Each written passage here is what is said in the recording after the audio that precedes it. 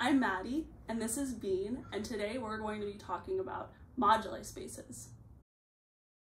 Moduli spaces are spaces whose points correspond to some object of interest. As a quick example, we might be interested in smiley faces. The moduli space gives you a map of where different smiley faces live, and smiley faces that are close together look similar, while smiley faces that are farther away look different. And if we look to the boundary, then we'll find degenerate smiley faces. Today, I'll do two examples. One will be of line segments, so we'll look at the moduli space of line segments, and the other example will be of triangles. So let's start with the line segments. So we'll say that two line segments in the plane are the same if they have the same length. So if you can take one line segment and move it rigidly around to match up with some other line segment, then those are the same line segment. Let's look at, out of all of the real numbers, which ones are possibly lengths of line segments. We can't have zero as the length of a line segment, but any other positive real number can be the length of a line segment. So for example, one could be the length of a line segment, and it would look like this. As another example, the square root of 17 could also be the length of a line segment, and it would look like this. Our moduli space is this blue ray where we don't include zero. Okay, but every other point on there corresponds to a line segment of that length. If we look towards the boundary of the moduli space, we can sort of think about what that point might correspond to. So for example, at um, the point zero, that might be something like a line segment of length zero. And if we look really, really far out to infinity, then we'll be looking at a line segment of length infinity.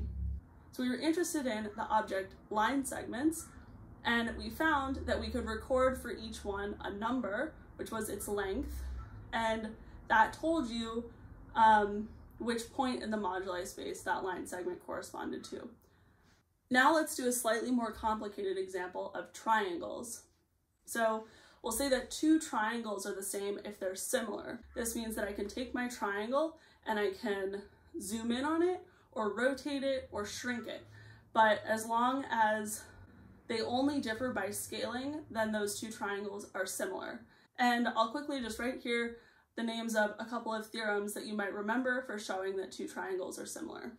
How do we make a moduli space of triangles? We need to figure out how to take each triangle and sort of scale it and rotate it into some fixed position so that um, we can compare two triangles to see when they're similar. What we'll do is we'll first scale and rotate so that the shortest side of the triangle is the line segment 0, 0 to 0, 1. So we're just going to pick our triangle up, find the shortest side, rotate it, so that that side is vertical and then scale the entire triangle so that the shortest side is 0, 0 to 0, 1. Now let's think about the other points in the plane as being possible locations of the third vertex. So if I put another point in somewhere in the plane, then that gives me a triangle.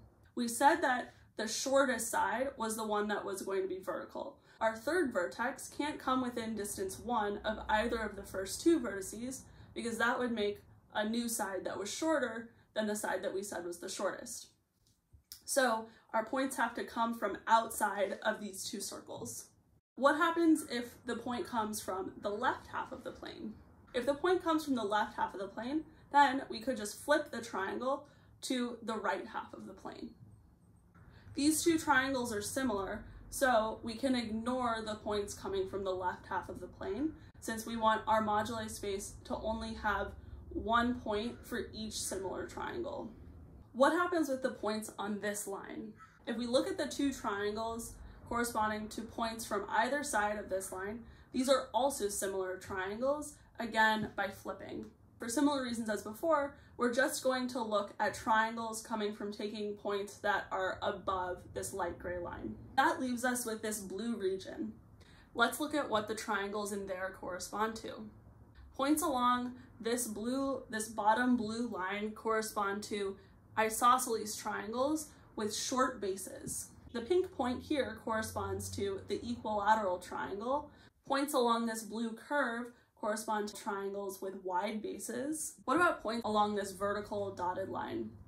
Well, these would correspond to three points that are in a line, so these actually aren't triangles. We say that these are degenerate. These points are not included in our moduli space. Let's see what some of these look like.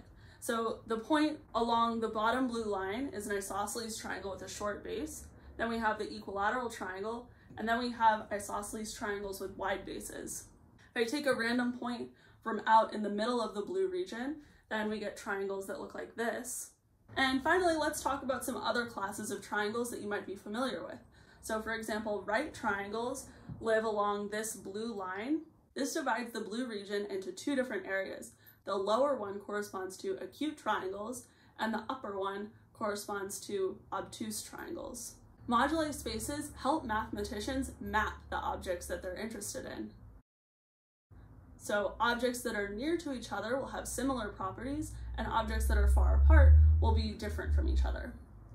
The shape of the moduli space can actually teach you a lot about the objects that you're interested in. The boundary contains degenerate objects that can be interesting to study in their own right. I hope you learned something about moduli spaces today, and thanks for watching.